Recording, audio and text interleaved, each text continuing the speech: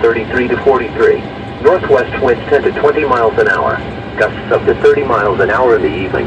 For Thursday, mostly cloudy in the morning then becoming partly cloudy.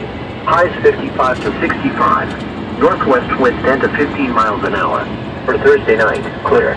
Lows 34 to 44. Northwest winds 10 to 15 miles an hour in the evening becoming light. For Friday, sunny. Highs 59 to 69. Light winds becoming northeast up to 10 miles an hour in the afternoon. For Friday night, clear.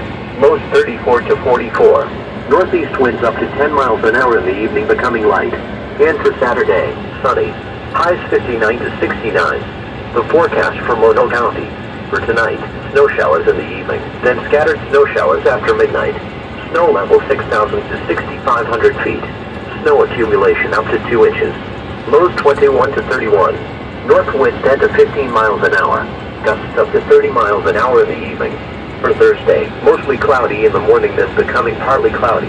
Highs 51